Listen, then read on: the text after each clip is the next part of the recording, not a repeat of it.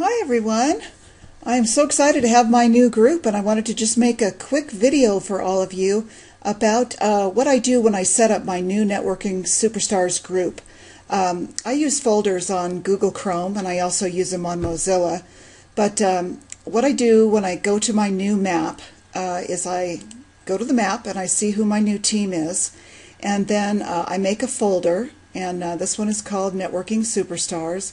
And if you don't have uh, folders, you should on your uh, browser because it makes it so easy. So you just add folder, and then you would just name the folder, um, whatever it is. You know, I would call it Networking Superstars because that's, you know, obviously what it is. And um, save it, and then there's your folder. And then you would open up each person and uh, go to their blog, for instance. So here's John Barton. And then you would just drag his blog right over there. And then every week, when you have to comment on his blog post, you can put uh, his blog in there.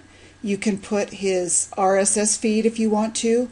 You could put uh, his Facebook. I happen to have, I used to put everything in there. I used to put the Facebook and all the stuff in, but it turned out to be just so many links that it was just a lot.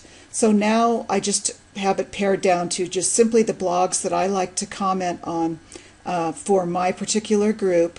And then um, if you want to add some other people, like I'm, I'm going to still comment on my group from last um, month because we got so connected uh, in my Networking Superstars group. And uh, I'm sure you have some people that you really just connected with. And I would continue to comment and share those people's uh, information and posts and and like those people and uh, continue to build relationships here within networking superstars. So that's how you would just make a folder and and uh, and do that. And i hope that helped you guys out. Have a great day and a great weekend. We'll see ya. Bye